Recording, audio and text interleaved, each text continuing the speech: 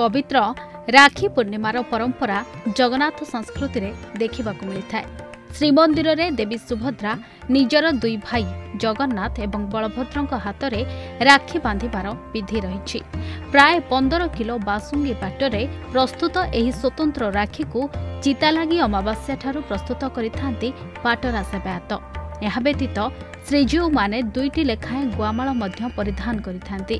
ନାଲି ସବୁଜ ହଳଦିଆ ଓ ନୀଳ ରଙ୍ଗର ଏହି ଗୁଆମାଳ ରାକ୍ଷୀକୁ ମଧ୍ୟ ସ୍ୱତନ୍ତ୍ର ଭାବରେ ପ୍ରସ୍ତୁତ କରାଯାଇଥାଏ।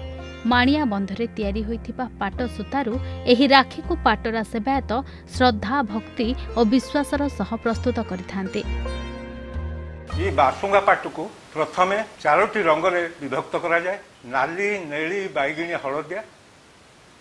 ଏଇ ଚାରୋଟି ରଙ୍ଗ ଯେତେବେଳେ କରିସାରିଲା ପରେ ଚାରୋଟି ରାକ୍ଷୀ ମହାପ୍ରଭୁଙ୍କୁ ଶ୍ରୀଜୀଉଙ୍କର ତିଆରି କରିବାର ଆରମ୍ଭ କରେ ଦୁଇଟି ରାକ୍ଷୀ ଜଗନ୍ନାଥ ମହାପ୍ରଭୁ ଦୁଇ ହସ୍ତରେ ପରିଧାନ କରନ୍ତି ଏବଂ ଦୁଇଟି ରାକ୍ଷୀ ବଳଭଦ୍ର ଦୁଇ ହସ୍ତରେ ପରିଧାନ କରିଥାନ୍ତି ତ ବ୍ୟତୀତ ଚାରୋଟି ଗୁଆମାଳ ହୋଇଥାଏ ଇଏ ବି ଚାରୋଟି କଲରେ ବିଭକ୍ତ ହୋଇଥାଏ ନାଲି ନେଳି ବାଇଗିଣୀ ହଳଦିଆ ଚଉବନ ଗୁଆରେ ଗୋଟିଏ ମାଳ ହୋଇଥାଏ ଦୁଇଟି ମାଳ ନାଲି ହଳଦିଆ ଜଗନ୍ନାଥ ମହାପ୍ରଭୁ ପରିଧାନ କରନ୍ତି ଏବଂ ନେଳି ବାଇଗିଣୀ ଗୁଆମାଳ ବଳଭଦ୍ର ହସ୍ତରେ ପରିଧାନ କରିଥାନ୍ତି।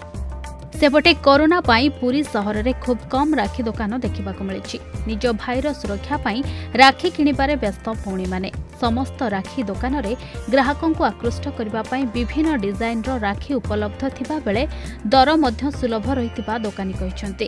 ଦୁଇ ଦିନ ଧରି ପୁରୀରେ କରୋନା କଟକଣା କୋହଳ ହୋଇଥିଲେ ସୁଦ୍ଧା ପୁରୀ ସହରରେ ସୀମିତ ସଂଖ୍ୟକ ରାକ୍ଷୀ ଦୋକାନ ଦେଖିବାକୁ ମିଳିଛି। ନୋ ମାସ୍କ ନୋ ଗୁଡ୍ସ ଭଳି ସଚେତନତାର ବାର୍ତ୍ତା ମଧ୍ୟ ଦୋକାନମାନଙ୍କରେ ଦେଖିବାକୁ ମିଳିଛି। ତେବେ ଗତବର୍ଷ ଅପେକ୍ଷା ଚଳିତ ବର୍ଷ ବେପାର ସମ୍ପୂର୍ଣ୍ଣ ମାନ୍ଦା ରହିଥିବା ଦୋକାନୀ କହିଛନ୍ତି। କରୋନା ମହାମାରୀ ସକାଶେ ବେପାର ଟିକେ ମାନ୍ଦା ଅଛି। ଆଉ ଦୁଇ ଦିନ ସଟ୍ଡାଉନ୍ ଟିକେ କୋହଳ ଜିଲ୍ଲାପାଳ କରିବାରୁ ଟିକେ ବେପାର ଚାଲିଛି।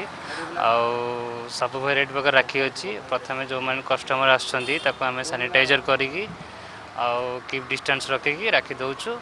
ଏବଂ କମ୍ ରେଟ୍ରେ ଦେଇ ଦେଉଛୁ ଲୋକ ତ ଆସୁନାହାନ୍ତି ବର୍ତ୍ତମାନ ଲକଡାଉନ୍ ପାଇଁ ଲୋକ ଆସୁନାହାନ୍ତି।